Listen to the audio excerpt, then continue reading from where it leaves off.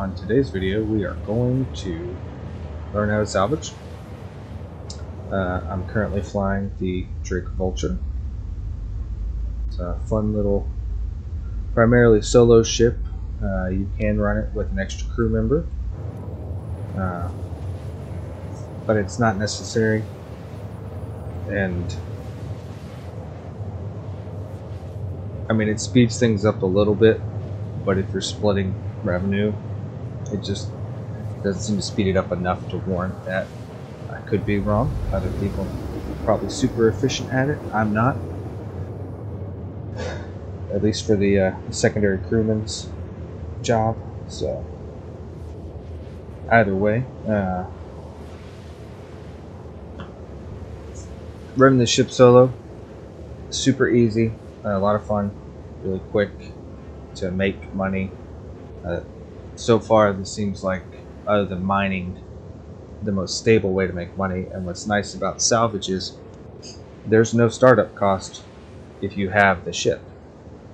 So if you have a vulture or you have a reclaimer, you can go out and start making money immediately. Uh, I load up 24 crates worth of salvage, and that's usually between 170 and 190 credits. Uh, it takes maybe an hour if you can find salvage, which normally isn't hard. It's been a little wonky since they uh, updated last week. I've had a bit more of a hard time actually getting the scanner to uh, spot salvage. So we're going to test that today. And hopefully it works. So we're out here scanning. Uh, what we're looking for is, if you see in the over here where it says RS signature, we're looking for a multiple of 2,000. So 2,000, 4,000, so on and so forth. If it's a multiple of 1700, then it's a mineable rock. And uh, this is not the ship for that.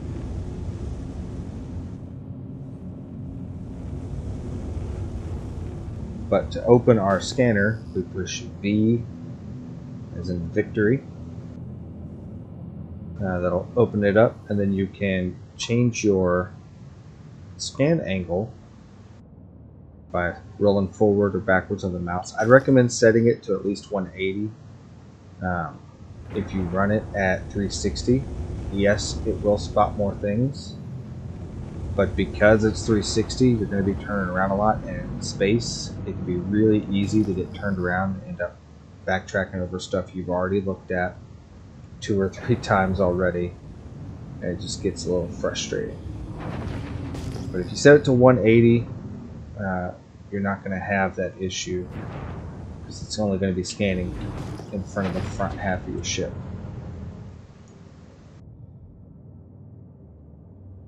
I'll probably I'm going to go ahead and skip ahead until I locate something. So see you folks in a minute. Okay, so scanning currently does still seem to be broken, uh, but I did come across some pieces. Uh, so if you're looking out here, those strange I mean, I don't even know what to describe the symbol as, that's the symbol for salvage that's floating around for panels.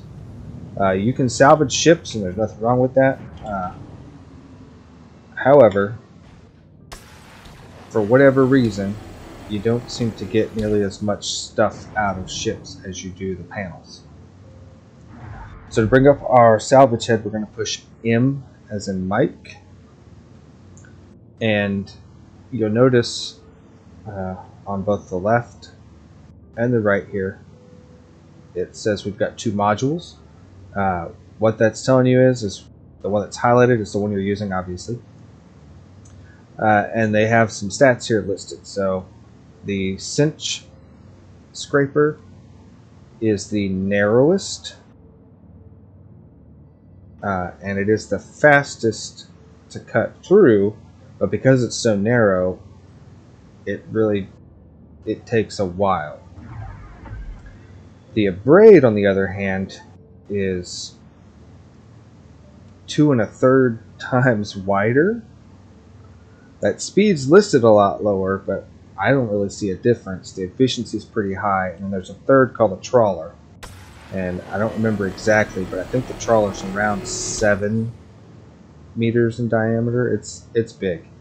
Um, and while yes, it will go faster on larger like ships, I find for panels it actually ends up taking a lot longer because panels you want to be a little more precise with.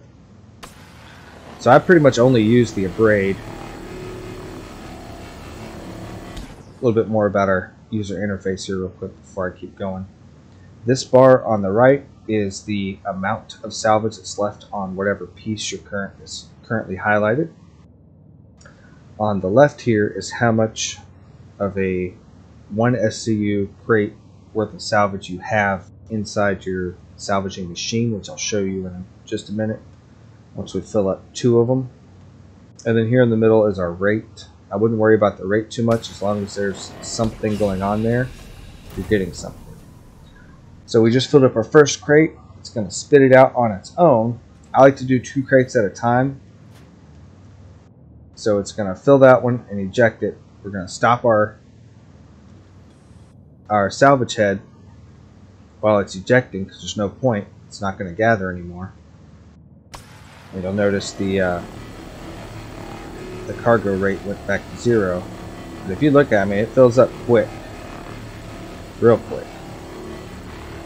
Our goal is to get 24 crates which I think we should be able to do. Uh, I saw, I think there's five piece, five panels here. Uh, there's three different panel shapes in game at the moment. This one's the largest. And there's some little like wing looking. It looks like the wing off of an Avenger Titan on the back. Alright, so it should tell us now that the station is obstructed. Yeah, alright. So, we're going to turn off our engines. We're going to turn off the mining head. And now we're going to exit the station. One thing you definitely want to have with you when you go out to salvage, and I probably should have put this in at the beginning, but I was a little distracted this morning, I apologize, is uh, you want to make sure you have a multi-tool with a tractor beam attachment. It's not mandatory to leave with one if you are in a salvage vessel because you can make one. So here's the cargo area of our Vulture. You'll see it spit out one crate already. We're going to go ahead and use a tractor beam and move that. And it snapped in. Okay. We're going to eject the one that's in there. And real quick, we're going to take a peek over here at Create. So if you look at Create, we can make a multi-tool. We can make a tractor beam. We can make the salvage parts that go on a multi-tool if we want to do some extra hand salvaging. Uh, although I've it doesn't seem particularly profitable to me, but if that's how you're starting out, there's nothing wrong with making a few extra credits. Uh, when I'm running around doing bunkers, I like to carry a, a couple of empty salvage canisters and a salvage head for my multi-tool. Uh, you'll notice that I stacked this one not on the grid because you can actually fit twice as much cargo in this cargo hold and sell it uh, if you stack around it. But you've got to be careful with how you stack because when you're getting down to the end, it's going to be it's going to be tight. But hopefully, I'll be able to show you guys that. Some people are saying they can fit 25. I think one guy said 28. I don't, I don't know how much I believe that, but if so, more power to him. Oh, another uh, quick thing to throw out there. You may notice that I'm moving my cursor around and my ship's not moving. That's because much like when you use gimbals for weapons, uh, you can kind of gimbal your uh, salvage heads by pushing G as in golf, just like you would uh, in a ship. And that keeps your ship stationary but uh, allows you to move the heads, which is great because sometimes these panels spawn right on top of each other. So if you're trying to whip around while you're salvaging, uh, you can smash into them, which will damage your ship. Uh, has a small chance of blowing your ship up, depending on the speed you're traveling. You know, just to me not worth it when it's just it's so easy to do this. I mean, we're we're getting through these fast. I'm hoping uh, hoping I can keep this video a little shorter. But I'm, I'm also I, I want to make sure I get all the all the info I have to give out to you guys. Uh, do me a favor though, if if you like what I'm doing, um, please hit that like subscribe button. Uh, if you have any recommendations on content for me to make or things you might want me to change, let me know and I'll take it under consideration. Either way, I'm having a lot of fun making these videos. I really love this game. I got out of the content creation game for a while. Uh, but the second, I mean, I, I played this game for a couple days and thought, you know, I think I could, uh, I think I could make some videos that might help some folks. And that's really the goal. This is kind of a side project, although, uh, if you stick around to the end, I've, uh, I'm going to be including a composition of mine for the outro music. Um, that's my day job.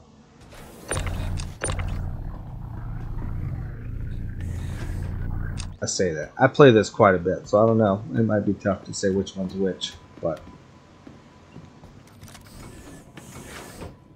we uh, we're anyone that's been watching my streams, either here or on Twitch, thank you. Um, a little more action packed over there.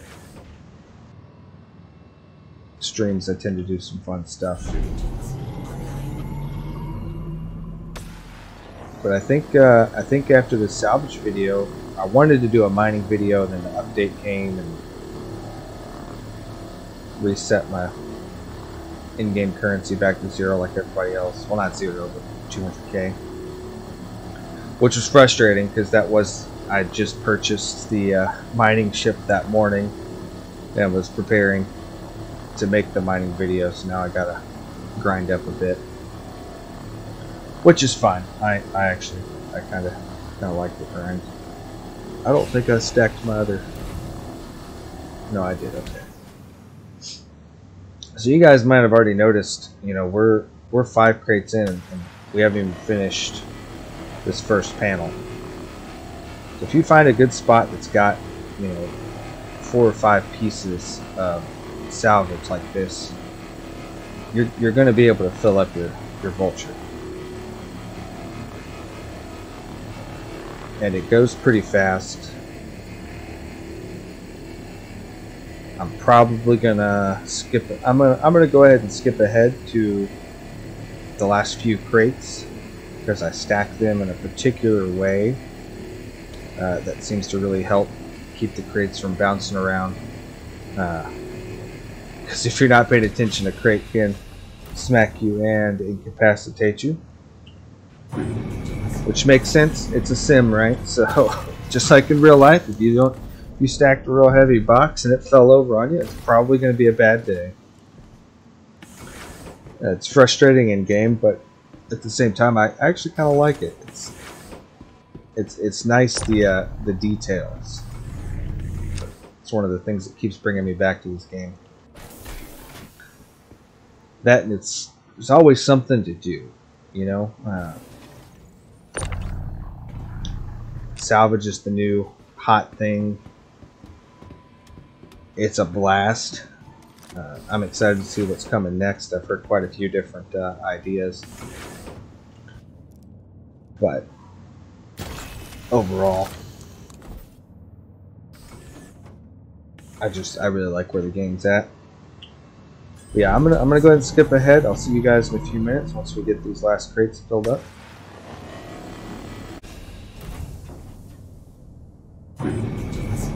Okay, guys. We got our 18 crates so far. Now we're getting to the part where we gotta start being a little... Oh boy. uh, selective with how we stack things. Uh, I was thinking about it. I'm pretty sure we can fit 25 because we can get 24 out and we can get it to spit that last one out of the hopper. This part makes sense really right up until this section right here because what we'll be doing now is we're going to stack those two then we're going to have to go a little creative. So I'll see you again in a second when I get these next two crates done.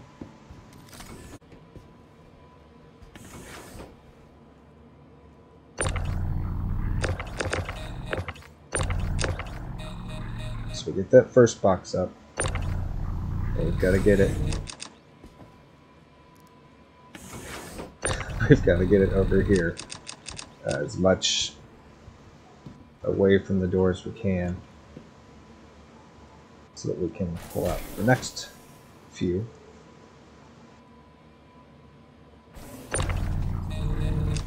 That's the one that gets in the way a lot. Pull it forward.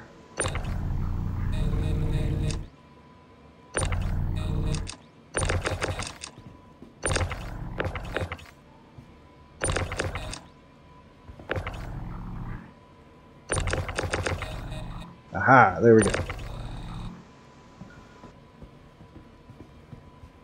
And then we're just going to go one, two, and one on the tray.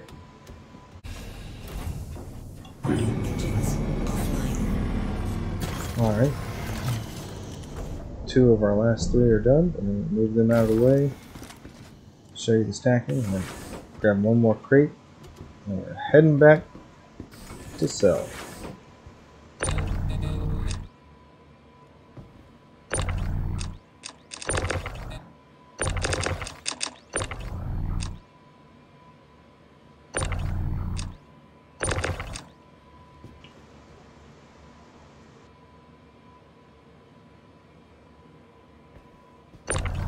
Hard part is you gotta get that crate as far out of the way as possible.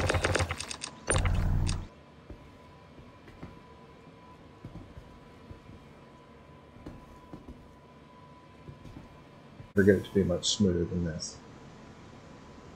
Basically,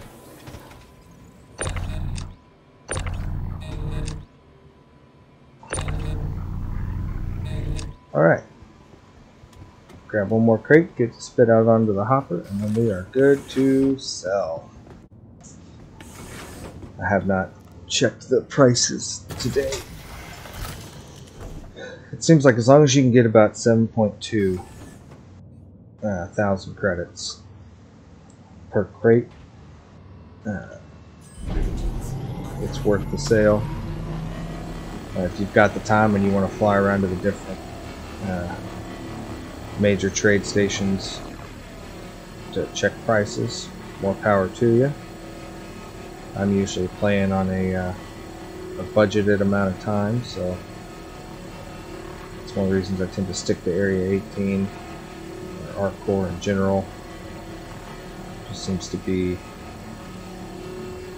uh, smoother, and the prices for goods seem to stay competitive. It's very rarely the highest I could get, but it's never been the lowest.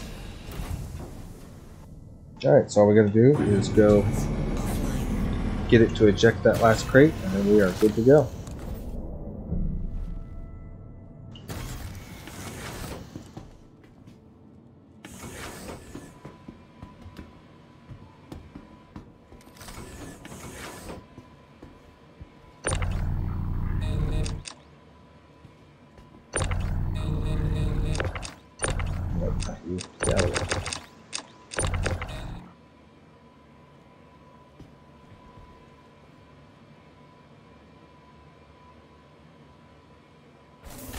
Aha!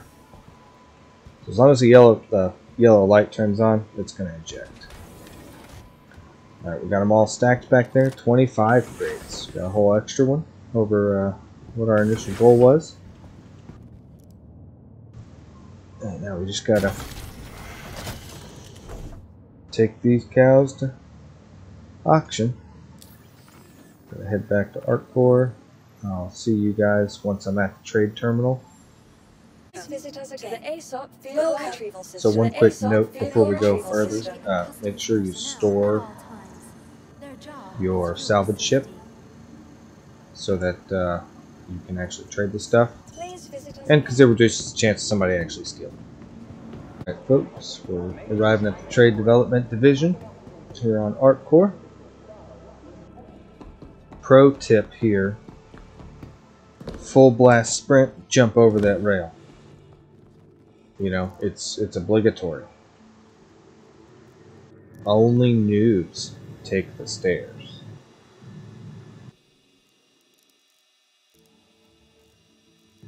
Come on. We'll try this one. There we go. So we're here. Uh, we're gonna pull up our vulture. And look at all that. Selling for 7.2. Got 86. I think I might hit 400. No, I don't think I will. Oh, yeah, I will. Sweet. So, uh, 190,000 from 25 crates. Not too shabby. Well, uh, it's been fun. I'm looking forward to uh, more videos to come. Sorry this one took so long to get out, and uh, I'll talk to you guys soon. See you in the verse. Adios.